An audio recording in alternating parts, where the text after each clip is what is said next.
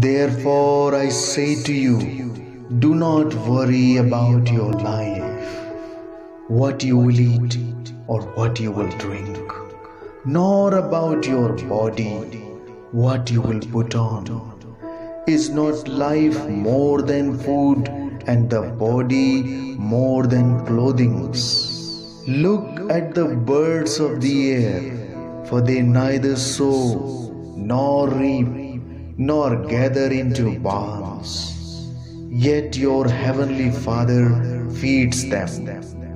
Are you not of more value than they? Which of you by worrying can add one cubit to his stature? So why do you worry about clothing? Consider the lilies of the field, how they grow. They neither toil nor a spin. And yet I say to you that even King Solomon in all his glory was not arrayed like one of these. Now, if God so clothes the grass of the field, which today is, and tomorrow is thrown into the oven, will He not much more clothe you, O you of little faith? Therefore, do not worry, saying, What shall we eat? Or what shall we drink? Or what shall we wear? For after all these things the Gentiles seek.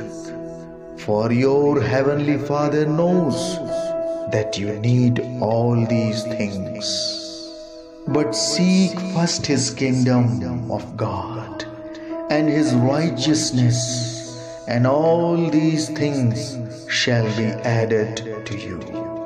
Therefore, do not worry about tomorrow, for tomorrow will worry about its own things. Sufficient for the day is its own trouble. Do not be afraid of man, for there is nothing covered that will not be revealed, and hidden that will not be known. Do not fear those who kill the body but cannot kill the soul, but rather fear him who is able to destroy both soul and body in hell.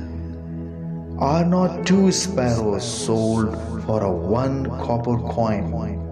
And not one of them falls to the ground apart from your Father's will. But the very hair of your head are all numbered. Do not fear, therefore, you are of more value than many sparrows. I am the good shepherd. The good shepherd gives his life for the sheep. My sheep hear my voice, and I know them, and they follow me.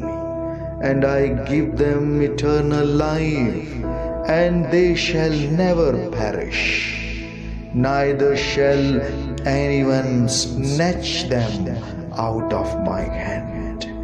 Come unto me, all those who are weary and tired and I will give you rest.